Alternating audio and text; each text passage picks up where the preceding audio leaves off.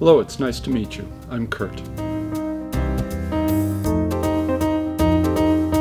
We make our way around the world. We get visual information, we get auditory information, we get tactile information, we get um, all, I think there's five sense gates.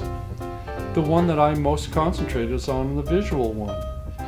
The working out the thoughts and visually in the process of doing it is what it's about. But I do have a little thought on that, which is that visual artists, this is our language. We speak visually.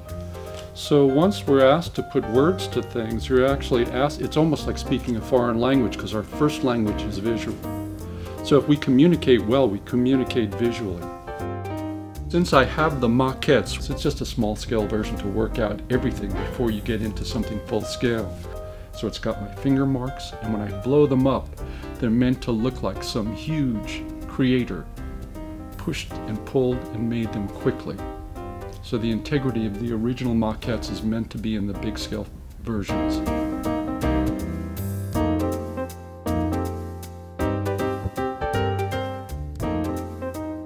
Well, it comes back to where we started.